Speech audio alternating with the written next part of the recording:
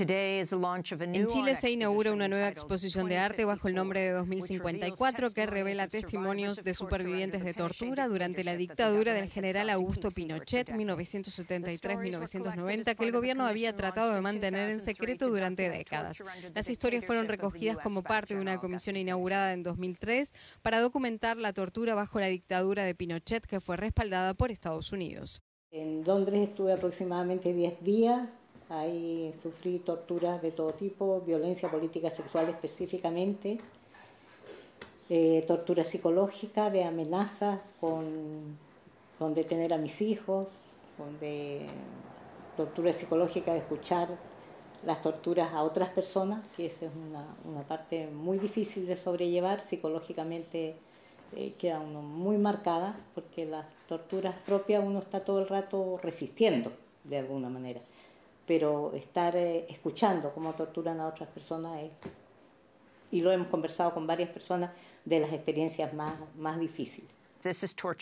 Escuchábamos a Scarlett Matthew Logercio, expresa política de la dictadura cívico-militar de Chile, que fue detenida el 15 de junio de 1974 y trasladada a un centro de detención y torturas de la Dirección de Inteligencia Nacional, DINA.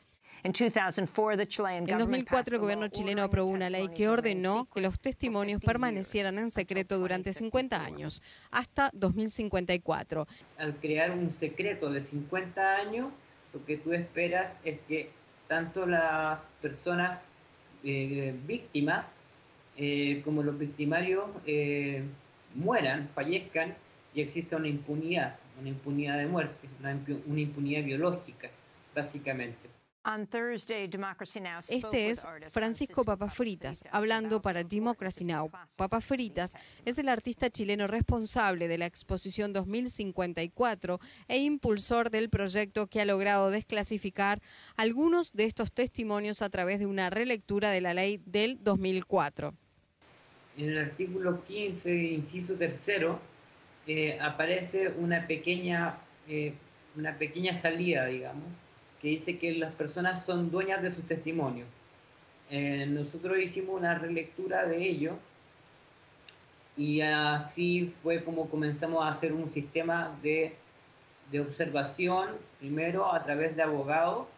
de ver si esta lectura que estábamos realizando eh, era concreta eh, y que las personas tenían ese derecho a pedir la información y luego hicimos un sistema para que las personas pudieran ir paso a paso eh, solicitando su carpeta.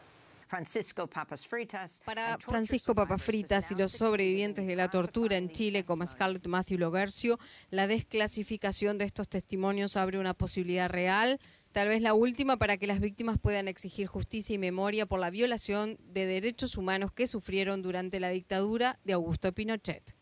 Eh, la importancia para Chile es poder tener la posibilidad real que no ha tomado ni el Poder Ejecutivo ni el Legislativo eh, y que el Poder Judicial se ha visto atado también de manos y que tampoco ha tomado las riendas sobre el asunto de exigir eh, verdad, que es lo que busca la familia, justicia y memoria, sobre todo memoria. Bueno, yo creo que es una oportunidad, es una oportunidad que se nos brinda a quienes tuvimos, fueron violados nuestros derechos humanos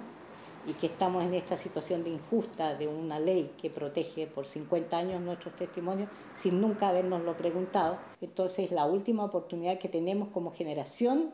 de generar un, un hecho político en el cual podamos ser protagonistas. Que no todo sea llorar el pasado, ver lo que fue, sino que realmente en este momento podemos, con nuestro quehacer, con nuestra decisión, con nuestra voluntad, volver a ser protagonistas de